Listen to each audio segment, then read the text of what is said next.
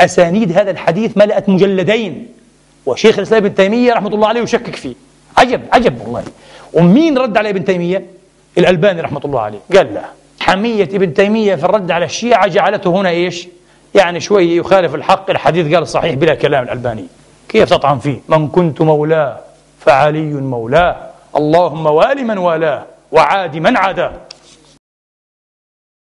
وفي الصحيح وغيرهما مما تواتر تواترا مقطوعا به. صح. وإن زعم ابن تيمية أن الحديث فيه مقال. مقال إيه؟ أنا ذكرت هذا في خطبتي شفاء الأوام. آه في مناقب الإمام عليه السلام علي عليه السلام. آه الإمام. هذا الحديث وما ذكرته هناك هي أبو الفيض هنا ذكره أيضا. حتشوفوا. طبري كتب فيه مجلدين. أسانيد هذا الحديث ملأت مجلدين. وشيخ الإسلام ابن تيمية رحمة الله عليه يشكك فيه. عجب عجب والله. ومين رد على ابن تيمية؟ الألباني رحمة الله عليه. قال لا. قال يبدو أن معنى كلام الألباني الحين لا أستحضره لكن معنى كلام الألباني أنه حمية ابن تيمية في الرد على الشيعة جعلته هنا إيش؟ يعني شوي يخالف الحق الحديث قال صحيح بلا كلام الألباني. كيف تطعن فيه؟ من كنت مولاه فعلي مولاه اللهم وال من والاه وعاد من عاداه. متواتر. أبو جعفر ابن جرير مجلدين كتب أسانيد هذا الحديث. حتقول لي والله هذه قارعة ما بعدها قارعة. أكبر أعداء علي معاوية كان. خلاص انتهى. أصابته الدعوة. اللهم وال من والاه وعاد من عاداه. نعود.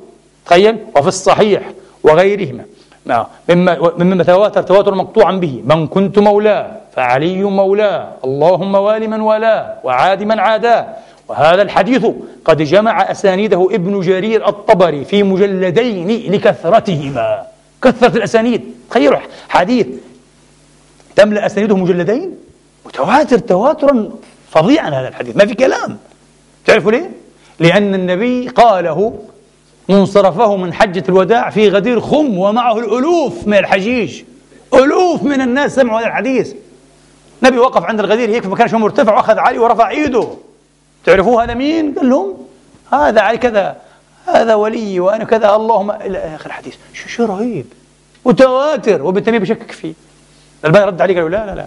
أنت أخذتك الحمية فرد على الشيعة بدك تشكك في الحديث هذا؟ صحيح ما يقدرش هذا الحديث وهل يصح في الأذهان شيء إذا احتاج النهار إلى دليل؟ قالوا مثل هذا يطعن فيه الحديث هذا يا ابن تيمية عشان تغيظ الشيعة؟ الحق وحق أن يتبع وهذا الحديث قلنا نعم نعم في مجلدين لكثرتها ورد عليه الباقلاني أبو بكر الباقلاني رحمة الله عليه الأشعري البصري فكان مغربا. وابن جرير مشرقا فابن جرير يورد الأحاديث وأسانيدها التي أبهرت عقول الحفاظ والباقلاني يبحث معه بعقله الأشعري البصري ولا يخفاك أن النواصب كان مقرهم بالشام والبصرة والأندلس. يعني هذا نوع من النصب هذا. ليش تبحث معاه؟ الحديث ما فيه متواتر. سلم لرسول الله. والمقصود أن هذه الأحاديث الصحيحة المتفق عليها هي ما تواتر من لعن معاوية لعلي.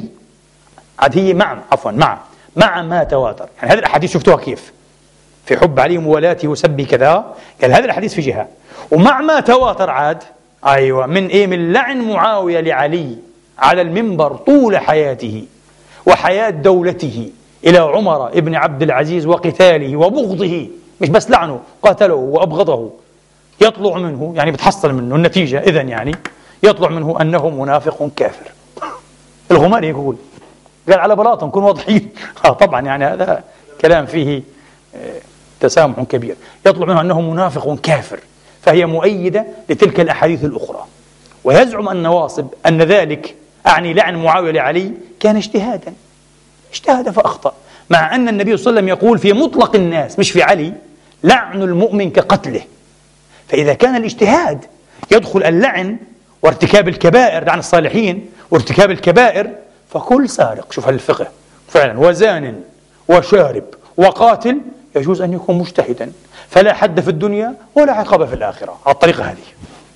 عشان تطلعوا معاوية بريئا مجتهد اجتهد فقط في كل شيء. قالوا خلاص بصراحة أنا دائما كنت أقول إذا معاوية اجتهد فأخطأ وكذا الله يخليكم. فعبد الناصر وصدام حسين وكل الطواغيت آه آه وتيمور لنك وأي طاغوت في تاريخنا رضوان الله عليه اجتهد فاخطا بصراحة. لما عملوش عشر ما عمل معاوية بصراحة. يعني عبد الناصر قتل مين؟ سيد قطب رحمة الله تعالى عليه. بس معاوية قتل حجر بن عدي. ها؟ وتسبب بما فعله في قتل علي. والخواج والقصة المؤلمة هذه. كل وتسبب في في تمزيق الأمة الإسلامية. وشفنا رشيد رضاش بيكتب. هو أس نكبات يا رجل هذا. مصيبة مصائبنا. اسكت يا رجل. إلى أن قال ويكفيه يعني يكفي الأستاذ بده يباحثني مش يكفي معاوية. آه. ويكفيه الحديث المتواتر أيضا. عمار تقتله الفئة الباغية. يدعوهم إلى الجنة ويدعونه إلى النار. قال يكفي يا جماعة. قال الحديث متواتر. هذا الحديث مروي عن زهاء عشرين. وقيل أربعة عشر وقيل أربعة وعشرين وقيل ثمانية وعشرين صحابيا. وستكون لنا معه وقفة إن شاء الله. قيل 28 صحابي روى حديث ويح بن سمية تقتله الفئة الباغية. يدعوهم إلى الجنة ويدعونه إلى النار. انتهينا إيش؟ من هذا الكتاب.